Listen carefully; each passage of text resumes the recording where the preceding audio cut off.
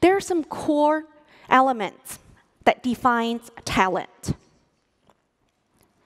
First is empathy. Our ability to relate to each other and understand each other's feelings. Second is cre- creativity.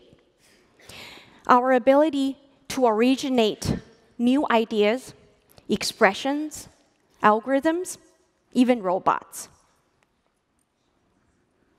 Last, and in a way, most important, moral and ethics. Our sense of right and wrong, and our desire to be good. These are the three core pillars that define talent today. But why are these qualities not replaceable by AI?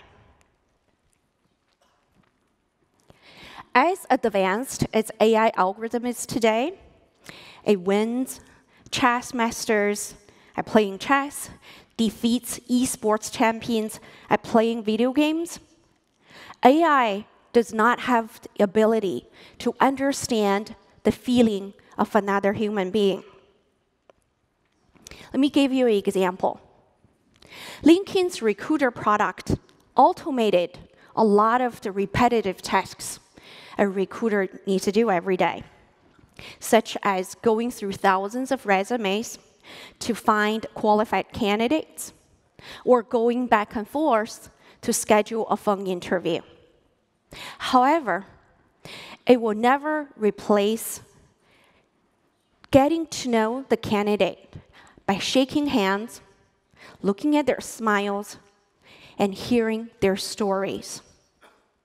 Not only AI is not there to replace a recruiter, it frees a recruiter from repetitive, mundane tasks to spend more time talking to a qualified candidate, getting to know one another, and offer a personal experience in the hiring process.